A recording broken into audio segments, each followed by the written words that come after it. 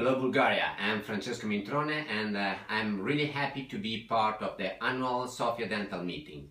Uh, my lecture will be focused on the systematic approach of the aesthetic and functional rehabilitation and I will try to describe uh, my thinking process in the full mouth rehabilitation.